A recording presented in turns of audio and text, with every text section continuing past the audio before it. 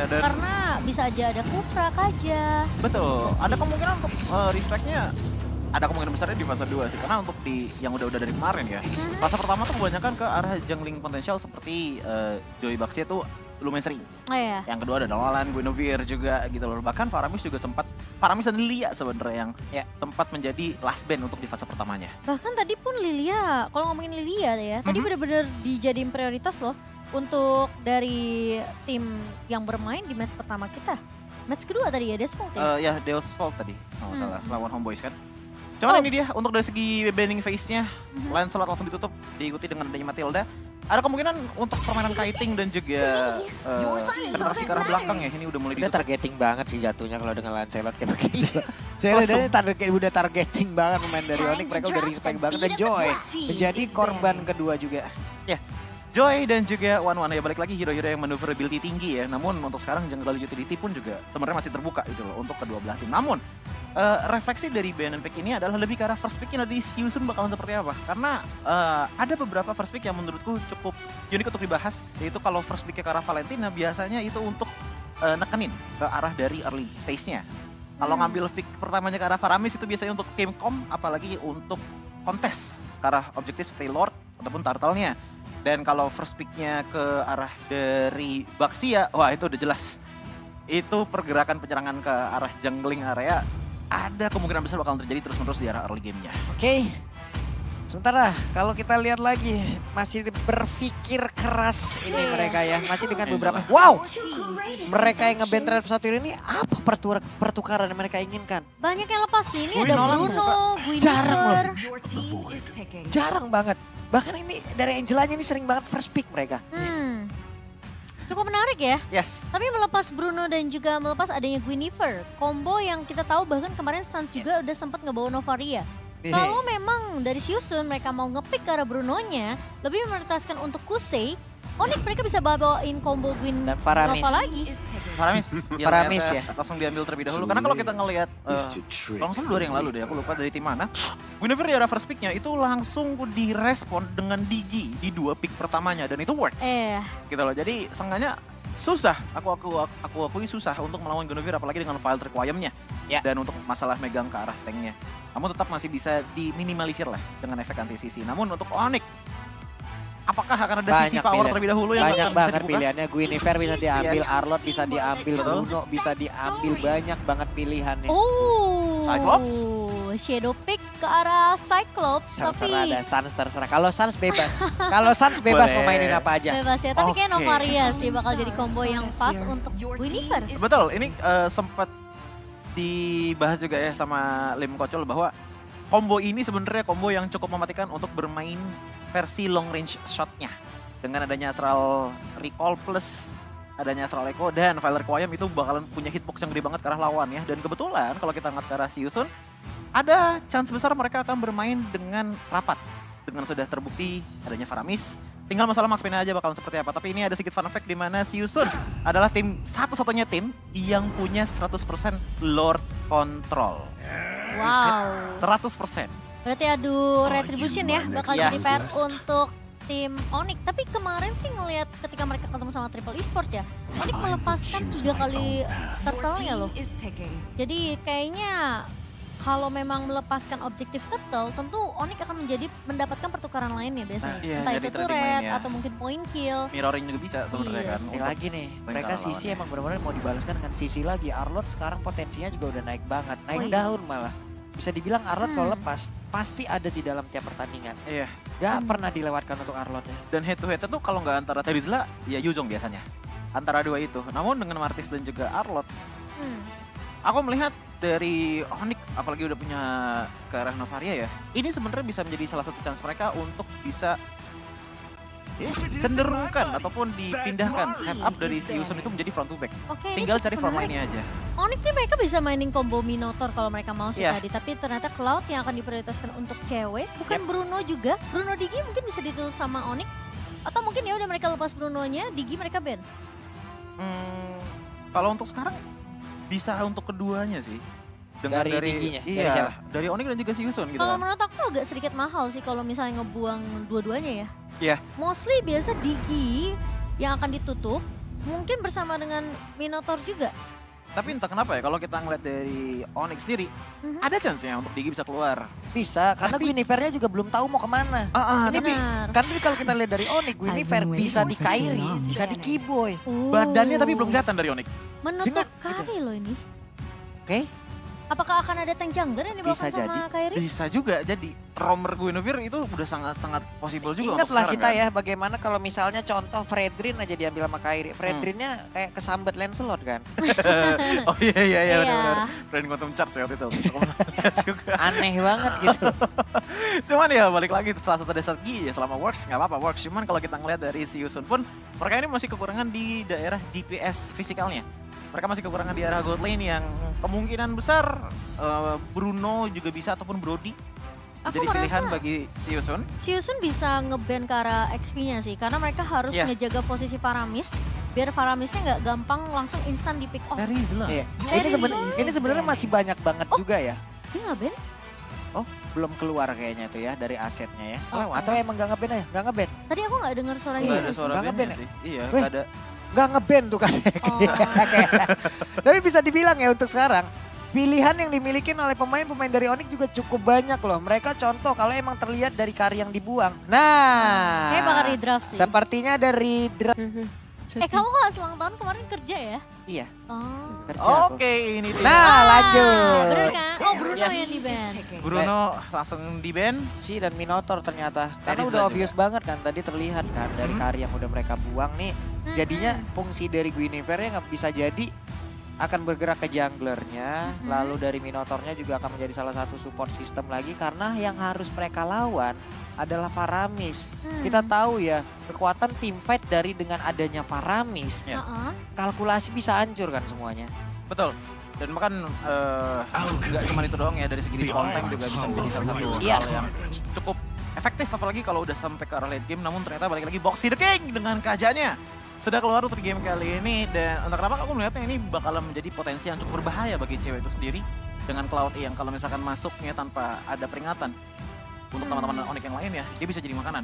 Tapi siapa yang mau dimainin sama Boots ya ini ya?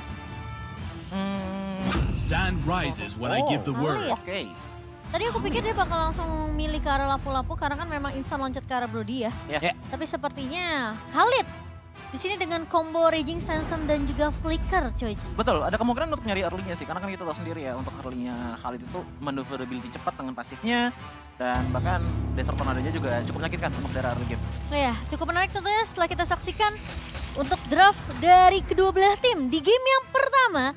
Ini menjadi tentunya one mission, one glory untuk Onyx sendiri. Berawal dari game pertama ini kita udah melihat draft pick yang begitu bagus dari kedua belah tim bahkan. Hmm. Dari Siusun mereka cukup kuat untuk di early pressure-nya juga. Eh, dengan pushing potensialnya juga bahkan memang lebih di bawah dari Onyx. Tapi lihat line up ratingnya masih lebih tinggi dibandingkan dengan Onyx. Ya Itu kalau, kalau menurut aku dari segi snowball potensialnya ya yang bisa bilang cukup terlihat besar di tangan dari Siusun. Oke, kalau begitu sekarang langsung saja kita saksikan bersama-tama match yang pertama. Untuk dari kedua tim ini mereka bertemu di dalam satu grup yang sama pula di game yang pertama. Dan siapa yang akan bolong pula yang pertama dari gamenya? Iya. 100% win rate yang ini bakal jadi, weh tapi Ra udah bakal dikejar sama Boots. Dan Sampai situ. terpaksa ngun- nggunain regennya loh. Oke, tapi Bud sepertinya ada satu rotasi lagi yang cukup ekstrim yang dia lakukan ya. Desert Tornadonya tadi emang memberikan sebuah kejutan walaupun dia sekarang udah harus mengorbankan juga satu wave minion yang ada di areanya. Ya sengaja untuk dari segi perolehan XP masih didapetin sih dengan eh, tiga minion yang berjalan dengan cukup baik itu tadi di bottom lane. Wow, ini Kiboynya sendirian santai dulu tapi kusei. Dengan penggunaan Brody yang dia milikin cewek harus standby di area belakang dan ini adalah setup eh, setup dari talent emblem yang mereka ambil. Eh kalau kita ngeliat untuk dari Boots itu sendiri ya dengan Rapture dan juga Killing Spree yang didapatkan, menurutku dia bisa menjadi salah satu jembatan. Jembatan untuk apa? Cewek dapetin power spike itemnya. Golden Staff, Demon Hunter. Karena untuk dia Buset. potential eh, DPS selain dari Boots ya, itu kan tinggal Suns dan itu pun juga skill cast power gitu loh. Jadi butuh cooldown beberapa detik lah, nggak bisa konstan seperti Khalid. Iya, dan kalau kita ngeliat juga sebenarnya dari Boxy the King ini harus menunggu sampai adanya divine judgment. Tapi kita ngeliat tadi Suns itu sempat ngebawa Rapture juga. Jadi potensi mm -hmm. untuk early pressure dari Onyx ini masih ada sebenarnya. Yeah. Dan bahkan untuk item pertama pun tadi aku juga sempat ngeliat ya, ini dari Arlotnya Felix saja dia langsung bikin ke arah dua letter jerkin ya. Mm -hmm. Untuk meminimalisir juga early damage potensial yang dibawakan oleh Woods. Apalagi dengan rotasi dari Kairi. Oke, okay. Masih cukup santai ternyata pertempuran yang emang diambil ataupun dilakukan oleh kedua tim ini. Karena seperti biasa sebelum turtle pertama nongol, kemungkinan besar harus mencari dulu satu tumbal proyek sebelum nantinya mereka hmm. berantem lagi di area turtle tersebut.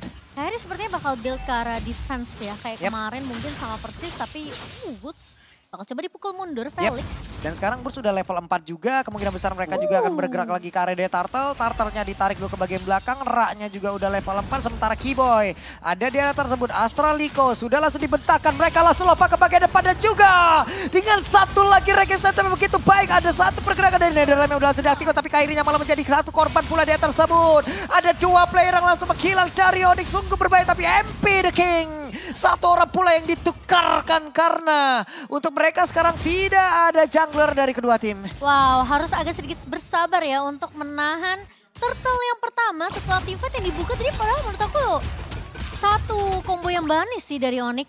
Ketika ngebuka dengan adanya satu buah Violet Requiem, yep. lalu ada Keyboy juga di sana. Tapi tadi Violet Requiem itu short live. Karena kan hmm. tadi tiba-tiba Faramis masuk kan. Yep. Uh, dengan netral yang nyala, akhirnya malah nyalain Violet Requiem di saat sedang immune semua. Dan bisa jadi tadi juga itu adalah kombinasi yang sangat-sangat terlihat ya. Itu adalah trailer dari kombinasi yang akan berjalan. Minuan Puri, Regging Centrum dengan Spatial Migration-nya juga tadi udah connect semuanya, Fire Requiem-nya juga udah masuk. Kita lihat saja, ini adalah percobaan kedua dari masing-masing tim. Iya. Dengan adanya Tartal yang udah ditarik ke belakang, Keyboy menjadi orang terdepan. Ra dilompatin begitu saja, Boot masih melihat dari kejauhan. Bahkan tuh sekarang ada efek super yang udah langsung dikeluarkan. Divine Judgment-nya berhasil menarik ke arah Kairi. Dan sepertinya unik mereka harus merelakan Turtle yang pertama ini setelah kehilangan Kairi ya. Mau nggak mau? Mau nggak mau? Iya, yeah, karena ya balik lagi dengan Kairi yang udah hilang, lihat bagaimana dari Onyx rotasi langsung pada cabut semua ke belakang. Dan bahkan Minotaur yang dibawakan oleh Gibo itu langsung mencoba untuk mencari sengganya mirror potensial. Mm -hmm. Kebetulan di arah bottom lane, Brodinya dari Kuse ini juga lagi sendirian gitu loh. Sengganya ya nge-spiking up dikit-dikit lah untuk cewek apalagi dengan dia udah mulai membuat karena DHS terlebih dahulu. Oke, okay, dari equipment bahkan dari boot sudah jadi dengan sebuah Fury Hammer untuk penetration tapi boxing. Lah, defense Jasmine tadi kayaknya udah mau dikeluarkan tuh. Hey, gagal untuk kali ini.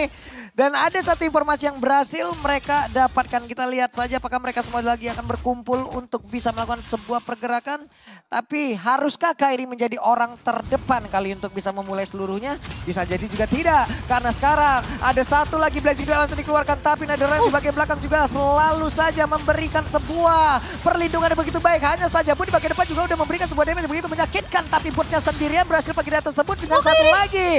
Pergerakan yang memang sudah dikeluarkan oleh Boot. Dia pun masih selamat double kill. Empat player yang dimiliki oleh Siusun benar-benar menghilang. Siusun langsung tumbang dari empat pemain yang mencoba untuk menumbangkan satu pemain yaitu kita ngelihat tadi Keyboy di garda depannya. Tapi Boot selalu datang untuk nge-follow up satu bom Minion Fury yang dibuka sama Keyboy. Iya, yeah.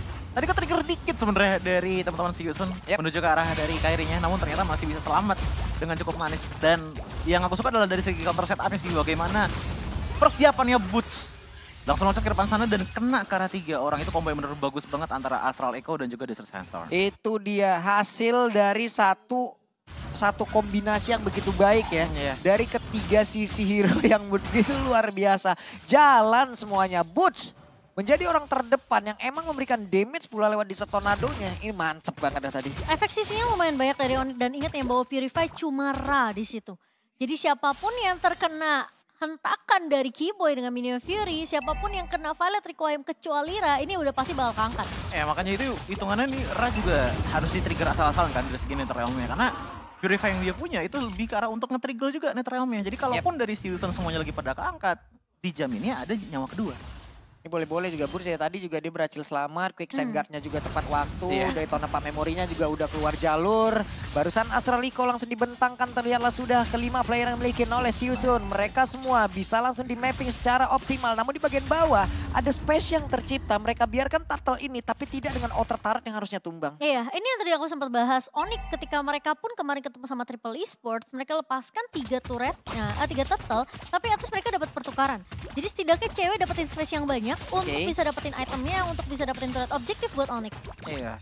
Perhitungannya lebih ke arah ya udah turtle lepas aja tapi team fight dan juga turret yang lagi dimenangin oleh Onyx dan bahkan untuk sekarang kita bisa melihat bahwa walaupun cewek di bawah sendiri lihat asisnya dia udah di angka 4 dan bahkan gold earn dia paling tinggi ya. untuk di menit ke-6. Rajin juga kan tadi melakukan sebuah tim fight bersama dengan rekan-rekannya tapi sekarang ada beberapa player yang mulai tertangkap bahasa di tersebut. Final slash yang langsung dikeluarkan bahkan pergerakan dari Ranya. Sudah melihat dari kejauhan sekarang Netherlands yang langsung dikeluarkan pula Spatial Migration. Final yang dikeluarkan pula untuk semuanya. Sedikit lagi Teresa dilompatin lagi. Oh, tapi ada efek surprise di mana defense Jasmine tadi menarik lagi ke arah Kiboy tapi mendadak. Udah ada pergerakan dan juga PKP yang dihasilkan juga oleh beberapa pemain Onyx untuk bisa membalaskan keadaan Kiboy dengan satu antikurasi dalam tubuhnya. Boxy the King-nya berhasil langsung dipunahkan di area tersebut. Tiga player tersisa dari Sius yang ada di area River. Dan tidak ada yang tumbang dari Onyx penyelamatan macam apa yang dilakukan oleh Boots dari Kiboy-nya yang benar-benar sekarat tadi itu, Choji. Ya, itu benar-benar dimainkan kiting banget oleh teman-teman dari Onyx gitu loh. Dipaksa ataupun dipancing dengan Kairi yang loncat duluan depan sana. Di saat ke-trigger dari si Yusun dari Netherrealm ya. Dan bahkan ada beberapa tadikan juga yang dilakukan oleh Boxy the King dan juga Ra kepada Kiboy. Di situlah momen yang benar pas banget untuk Boots berkata, oke okay, aku masuk. Yap. Dengan flicker ditambah lagi dari segi itemization, lihat dua item monetisasi yang sudah iya. diamankan terlebih dahulu di tangan dari Boots. Balik lagi ke seperti yang tadi aku bilang, masalah jembatan damage. Ini tuh kalau kita ngeliat dari itemnya Boots ya, dia tuh emang ingin menjadi modal awal untuk teman-teman dari Onyx. Dan sambil nungguin ceweknya dapetin momen yang pas dari segi item. Nah itu yang serem, cewek dapetin space itu banyak dia. banget untuk bisa dapetin item dia. 6 assist bahkan, dia nggak perlu team fight secara agresif bareng sama pemain-pemain dari tim Onyx, tapi at yeah. least dia bisa dapetin dua turret nih. Sejauh ini untuk Onyx di menit 8.40. Kayak yang yang ngeliat juga dari tadi ya Ci ya, hmm? mereka udah gagal di percobaan pertama. Kenapa? Yeah. Karena mereka masuk berbarengan. Mm -mm mereka langsung lepaskan, mereka langsung belajar dari hal tersebut. Coba lihat dari tadi, masuknya bergantian, gak ada yang berbarengan lagi. Iya, Pilot iya. Ayam kemungkinan besar spatial migration dari tadi kelihatan dulu duluan tuh.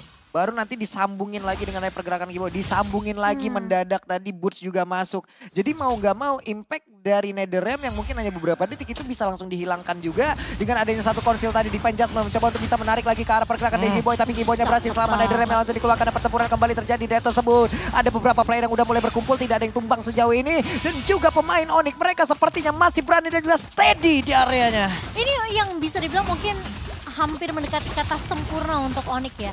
Gak cuma dari damage dealernya yang di cover, ya. tapi ya. gimana mereka nggak cover juga initiatornya? Romernya di cover. Nah ini mau ngegas lagi nih seperti udah mulai mendekat semuanya. Tapi pergerakannya dilompatin oleh Keyboy. Connect lagi karena beberapa dan juga satu lagi plastic cuan. Selesai sudah beberapa player hanya menyisakan dua player saja. Akankah diburu habis-habisan karena ceweknya mulai bergerak ke bagian depan. Tapi Artiferia tadi nggak kena, tapi beberapa saat lagi kita lihat Astral Meteornya udah mulai connect. Satu hit terakhir, Bambi the King. Selesailah sudah. Dan juga untuk Ra ditembak ke punggungnya. Eh, dia Riko-Riko lihat tersebut. Sans! Udah Sans! Cukup! Gila! Sans di sini bener-bener loh. Dia pengen sampai gimana pun caranya Ra itu harus tumbang. Tapi ternyata Ra masih bisa untuk menyelamatkan dirinya. Dan lihat seberapa manisnya, seberapa yes. gilanya follow up dari pemain-pemain Onyx. Itu Kiboy udah capek jadi pancingan pas dia maju, dia sambil teriak, ah capek ah. dari Kiboy itu sendiri ya. Dan ini adalah benar-benar kalau menurut gue pribadi ya, kalau uh. memang ini bisa diselesaikan oleh Onyx secara cepat, ini adalah jawaban dari Onyx. Kenapa? Karena Siusun di saat lagi draw mereka ingin bertemu dengan Onik katanya. Oh iya. Oh. Ini. Ini. ini. Pembuktian dari Onik yang mereka inginkan. Ini. Betul. Pembuktian dari tim Onik dengan 7000 perbedaan network bahkan di menit yang ke-10 Joji. Ya, itu juga jadi semacam apa ya, rule yang gak ditulis oleh teman-teman dari Onik apalagi dengan sisi simfoni mereka mm -hmm. yang bisa dibilang sangat-sangat beratur gitu. Dan bahkan kita selalu melihat bahwa cewek itu datang ya, itu literally pas belakangan banget nggak pernah dia ngebuka sendirian atau mencoba untuk poking karena emang dia yang carinya adalah area of fake potensialnya. Lihat bagaimana dari segi gold aja, uh -huh. ini udah di angka 8000 dan rata-rata perbedaannya 2000 dengan teman-teman dari Siusun dari mana pun itu. 5 player di Siusun itu bedanya hampir 2000. Soalnya Siusun ini mereka harus bisa apa memaksimalkan uh, di mana mereka tuh harus ngambil satu pemain, metode pick off-nya harus jalan. Iya. Yeah. Tapi ketiga gagal, itu udah jadi informasi yang mahal untuk Onyx, gak akan ada Divine Judgment, gak akan ada mungkin Netherrealm, ya kan? Karena Netherrealm-nya juga bisa dipancing yes. dengan adanya pergerakan dari Boots dan juga cewek. Dan sementara Onyx selalu bisa memaksimalkan hal tersebut. kayak nggak ada Divine Judgment, oke kita bisa tabrak balik. Keyboys bener-bener sengaja untuk nahan tuh minion Fury-nya. Iya. Dan mungkin itulah alasan kenapa tadi kita lihat ya, Kairi itu nggak bikin ke arah Genius One. Dia langsung bikin ke arah Steel dan full ke arah uh, defense. Karena dia tahu bahwa dia yang akan memulai trigger bagaimana team fight bisa berjalan. Dan Kiboy ini udah mulai La ilah. Ya. Boy nabrak tembok. Eh, Sedih gua lihat ya boy. Gak apa-apa. Recall-recallnya udah bagus. Sekalinya lompat nabrak tembok. Iya, Kesandung batu tadi, Kakinya Pak. Minotaur emang begitu, iya, Pak. Sandung batu Dia tadi. nabrak tembok jadinya basan. Ganteng mimisan. nabrak tembok.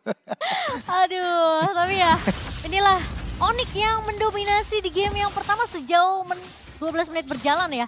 Dan sekarang tinggal menunggu aja Lord yang akan muncul Lord yang kedua. Ya, dan ini posisinya masih perfect banget juga ya untuk Onyx walaupun untuk di atas ya tipis lah, tinggal ditiup dikit. Tapi ngelihat posisi di atas ini justru bisa jadi chance bagi teman-teman dari Onyx langsung menuju ke arah Lordnya. Ya, Oke, ada konsil lagi. Kita lihat mereka akan all in ke arah siapa. Kalau tadi mereka mencoba untuk all in terhadap Keyboy, gagal. Hmm. Malah mereka yang hancur, mereka yang remuk. Kita lihat saja ke ke mana lagi arah yang akan mereka tuju. Karena Sunsnya juga memiliki positioning yang begitu baik untuk bisa menjaga laning jauhnya. Tapi Lord berhasil mereka amankan dengan sangat-sangat cepat. Tidak ada gangguan. Iya dan bahkan kalau kita eh, balik lagi ke yang tadi ya Divine Judgment ke arah dari Keyboy gitu loh dan salah satu faktor kenapa si Yusun gak bisa langsung dapetin menurutku adalah kusinya udah tumbang dua kali. Kalau kita ngeliat dari segi itemization nih, oke ada penetrasi datang dari Malefic Roar dan juga Blade of Heptasis. Tapi untuk angka mentahan dari segi physical damage-nya ini masih belum terlalu besar. Kalian kalau kita bandingkan ke arah dari Minotaur Keyboy, item pertamanya Antiquiras. Paling minimal ada damage reduction 6% yang bisa dikalikan tiga di badannya. Eh, bukan kali ditambah eh, tiga kali maksudnya. Nih kita lihat lagi di Ini bagian bawah nih ya. Lordnya tuh udah bergerak perlahan. Coba lihat positioning dimiliki oleh pemain-pemain dari Onyx. Gak selalu tentang berkumpul. Mereka mencoba ya untuk mengkalibrasi agar semuanya juga... Eh! Hampir banget. Hampir aja tadi orange buff orang diambil. Tapi coba lihat tuh keyboynya. Mulai memancing lagi psikologis tapi ditembaklah sudah raknya kehilangan dari 3 bar HP. Di bagian bawah Lordnya bergerak siap untuk menabrak masuk. Sementara untuk keyboynya dengan level 12 yang dia miliki akankah mau melompat dan juga menghajar siapa pun yang ada di depannya.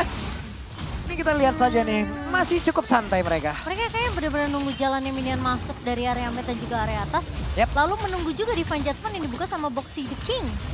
Ini mas, uduh ditembak nih kena dua orang. Coba lihat Brody sama Ra, itu impactnya sakit banget. Tapi Kairi mencoba tadi masuk spatial migration sekarang. Astraliko semuanya sudah terlihat seperti apa lagi sampai akan mereka bangun.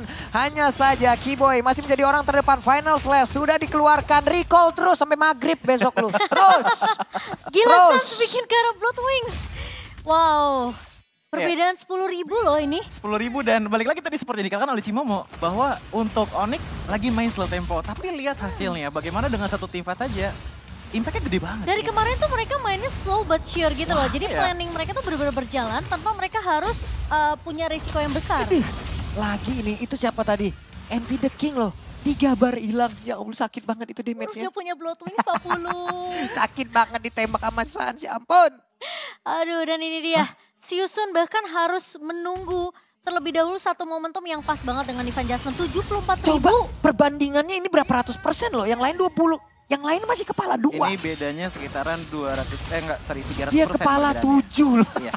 Tiga kali lipat yang bisa dikeluarkan oleh Kuse gitu Itu loh ya. Sans farming dari mana ya? Gak tahu ini damage-nya gak tahu dari Item-itemnya. mana. Iya dia farming dari mana menghasilkan damage.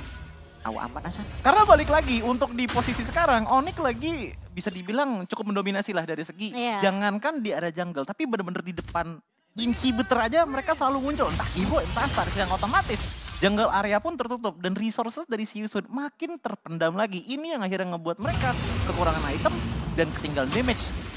Jangankan sama Sans begitu pun juga dengan cewek Ya, cuman ini kalau dibawa jauh lebih lama lagi, semuanya akan bergerak menjadi sama posisinya. Loh. Mereka juga harus berhati-hati terhadap hal tersebut. Kita lihat saja seperti apa lagi plan yang akan dimiliki oleh Onyx. Eh, Oh, ada dulu game pause ya, sabar. sabar. sabar sabar dulu ya cuman balik lagi ya untuk kalau kita ngeliat Eh, Marshall kita. Kacau, kacau. Ma Marshall kita boleh-boleh gayanya ya. Dan pertempuran kembali terjadi di atas sabut. Hilanglah sudah Arlot untuk kali ini. Empat orang mundur ditembak punggung dari Rah. Lari langsung Pak dia. Lari bu, ngapain Pulang ke lari? rumah. Pulang udah. Bubar, bubar, bubar.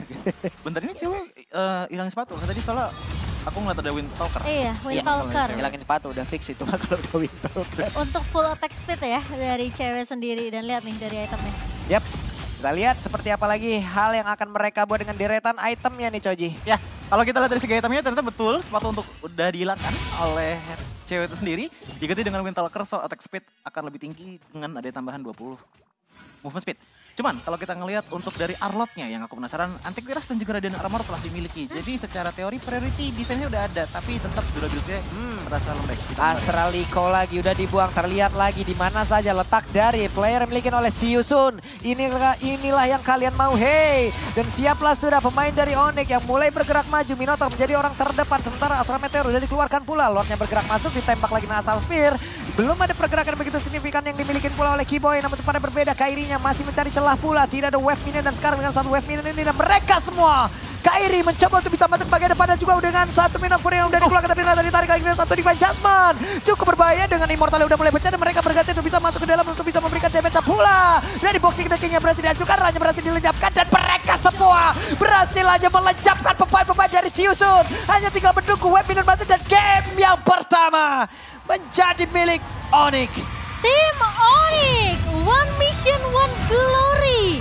Sepertinya sudah mulai jelas terlihat di depan mata semenjak dari game yang pertama, dominasi full di game ini.